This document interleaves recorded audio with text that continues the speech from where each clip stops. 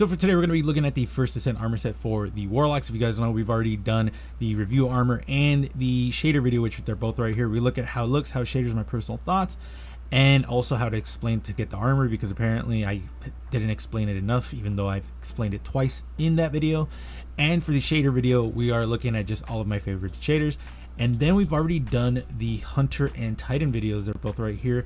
Definitely some cool sets. I will say, I don't think anyone lost in these sets. I think all of everyone got some cool pieces. That being said, Warlocks, I can understand why you would be a little mad considering some of these pieces are fucking weird. But let me know what you guys think. I definitely think I made some cool sets from this. But again, let me know in the comments below.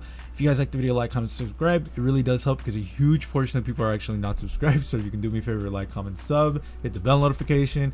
I'd very much appreciate that because it just feels weird when people come in just to check something out and then leave. I have more to offer. I have a lot of fashion in the channel.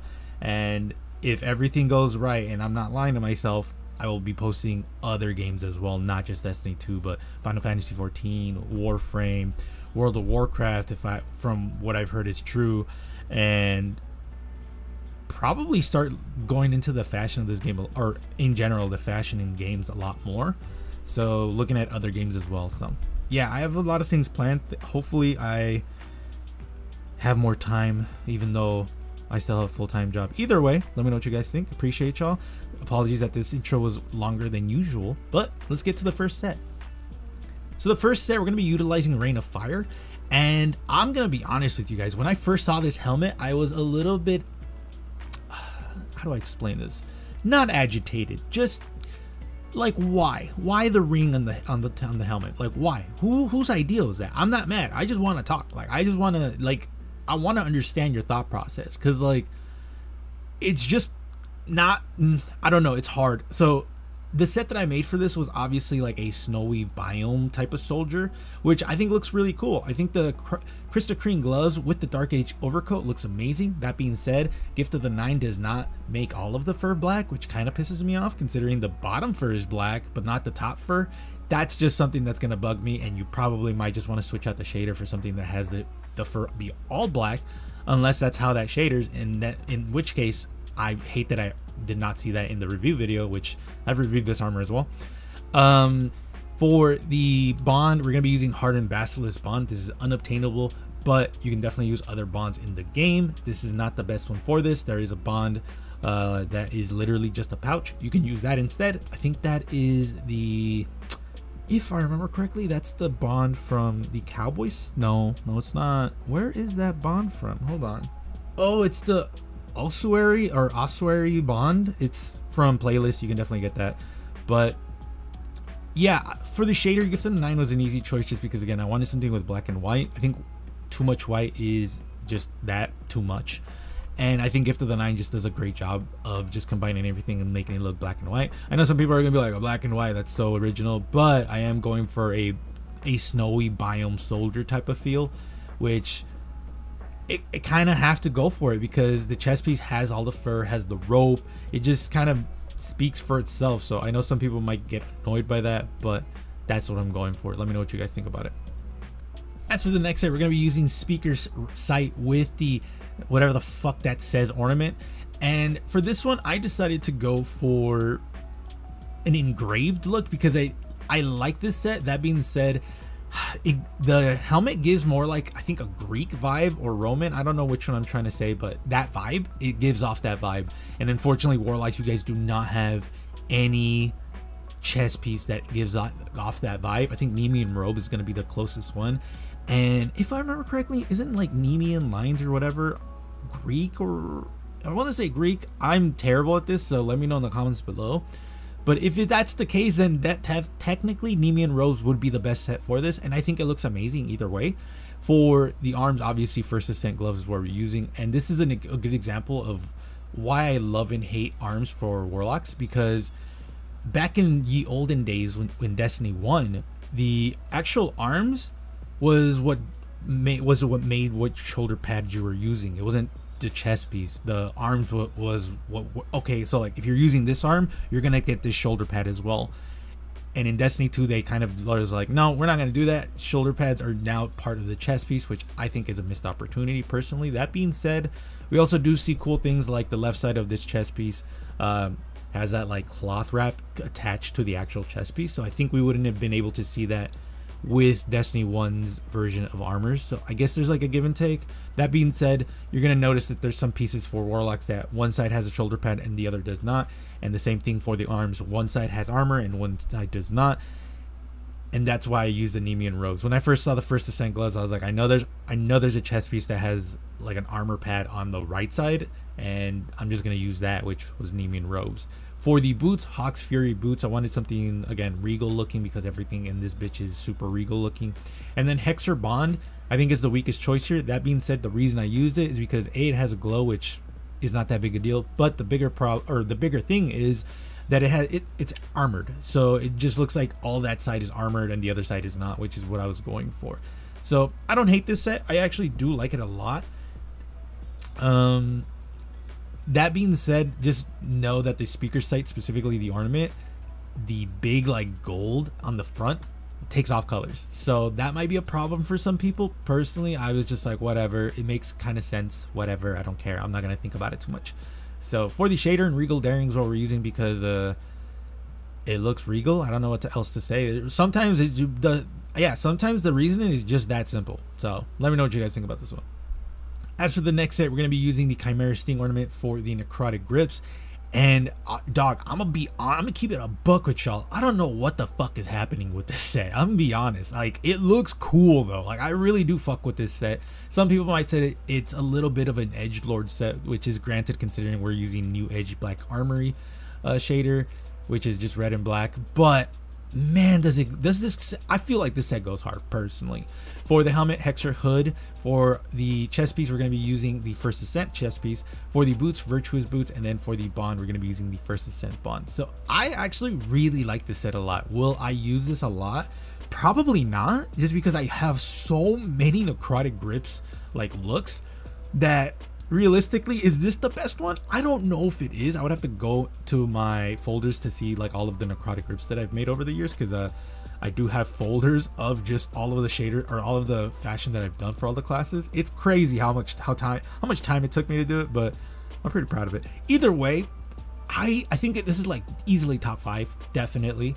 Um i honestly want to say necrotic grips is just not a good fit for this set um, I think something bulkier would have been a little bit better. That being said, it's rough. It really is rough because I do like the set a lot, but I just I don't know what I would use for the arms, and I really want to keep the virtuous boots just because they give off like so like my, the whole shtick of this was a modernized soldier slash knight and the helmet and the boots give off that vibe a lot specifically for the knight side.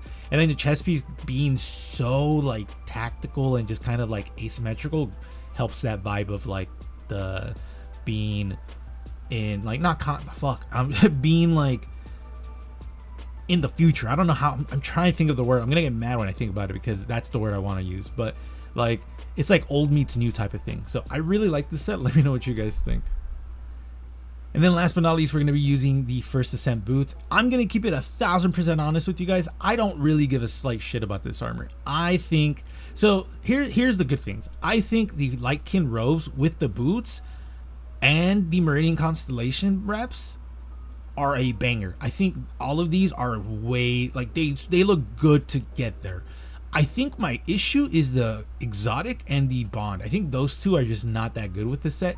Very not like not feng shui with every other piece. Like Gaze Beyond Worlds, I love this ornament, does not go well with this. Uh, th this exotic does not go well with it because the Gaze Beyond World is just a shader change technically. So yeah, the Eye of Another World, I love that exotic. I just don't think it looks good with this set. Tang uh, Tangled Web Bond can work with this if the helmet has a glow with that color as well. So that's like my only issue. That be like I honestly I like this set a lot. I would just switch out the pieces that I said because I do think the first ascent boots go so well with the chest piece that I really wish I had doubled down on the helmet and the bond because then I feel like this set would have been amazing. That being said, Um, I probably will work on this a little bit more because I do like this set quite a bit. Like literally, and Silver Snare's shaders what we're using. I feel like that's technically cheating considering this shader looks good with pretty much anything. But I'm gonna keep it with it because I like the fact that I don't have to work with Lightkin Robes and Meridian Constellation. Uh, for those of you who don't know, Meridian Constellation wraps takes shaders differently than the chest piece, so I you usually have to fight it, fight it a lot. But with this, it looks fine. So that is pretty much it for all of your sets. Let me know in the comments below which one was your favorite from not just the Warlocks, but the Titans and Hunters as well.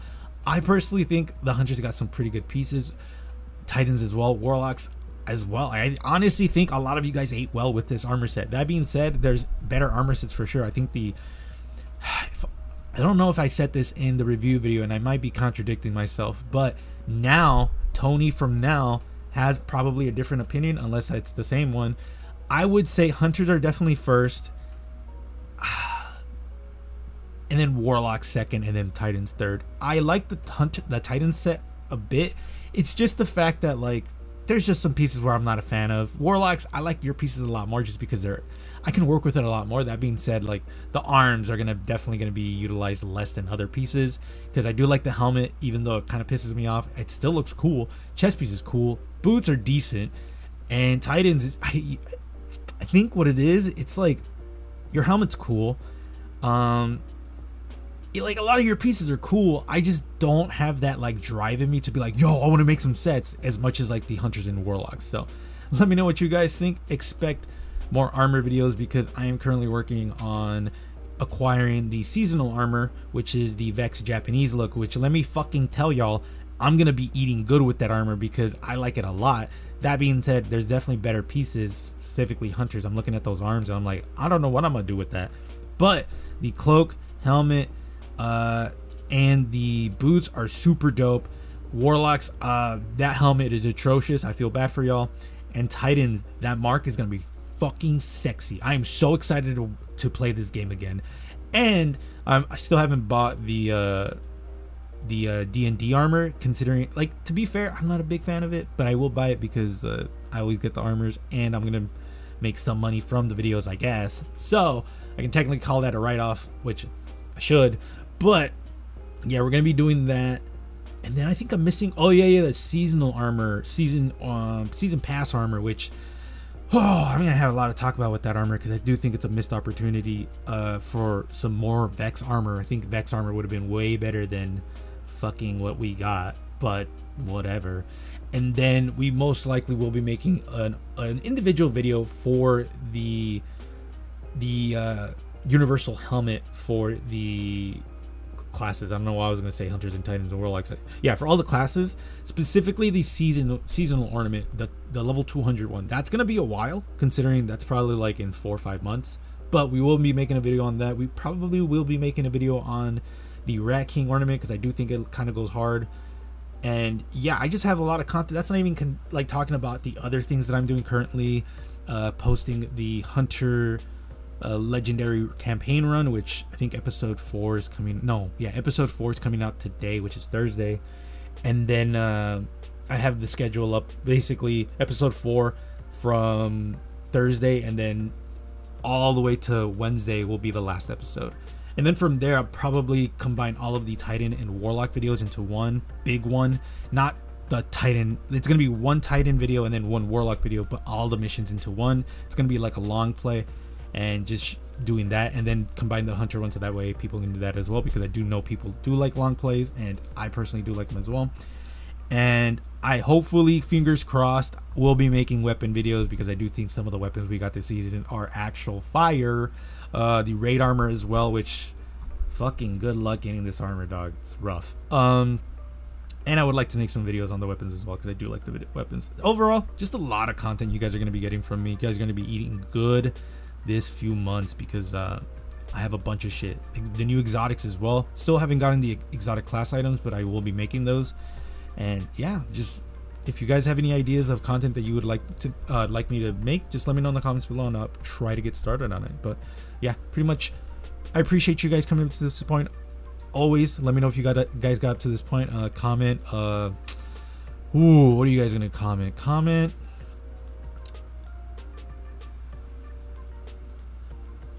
Comment blue titty, I guess. I don't know. Let me let me know what the comment blue titties. I don't know. Later.